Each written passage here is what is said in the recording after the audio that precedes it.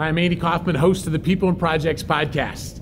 Tonight we wrapped up a leadership development program in house at a company. We called our Leadership Fast Track program. And I got to tell you, it has just been a fun program. We've been meeting for the last eight months, one time each month, going over a specific topic. And tonight was the graduation. And I got to tell you, this means so much to me because these people have invested so much. But we tried something new today. One of the things we did was instead of just congratulating the people that finished up their program, we also invited family members because not only did the participants, you know, sacrifice, the fact is the way this particular company ran it was it was after their workday, and so other people sacrificed as well. And so it was fun to be able to celebrate. And there's potentially potentially an idea there for you that when you're celebrating people on your team, is there a way to include other people in that?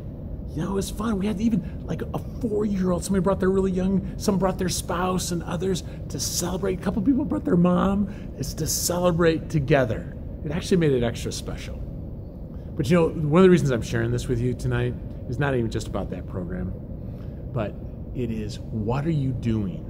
Whether it's a formal program like this that they brought in or just informally, what are you doing to develop yourself as a leader and the people around you as leaders.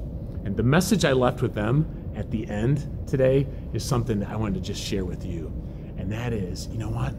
There is a leadership vacuum. Maybe you see that at your company.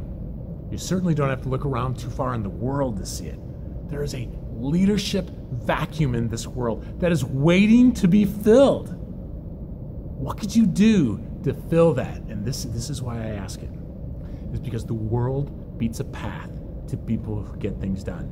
There have been some people in this program just over the last eight months who've gotten promoted. I'm not saying it's just because of the program, but it's, it's because they're applying what they're learning. They, I want to be a better leader. And one of the things we challenge them all throughout it, and I'll challenge you at this as well, is you don't drift to become a better leader. You don't drift to become a better project manager. You don't drift towards building relationships with people. It's something you have to be intentional and strategic.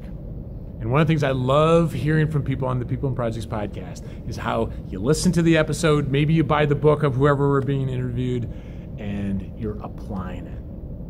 The world needs you as a leader. Keep just intentionally building yourself as a leader. The world needs you.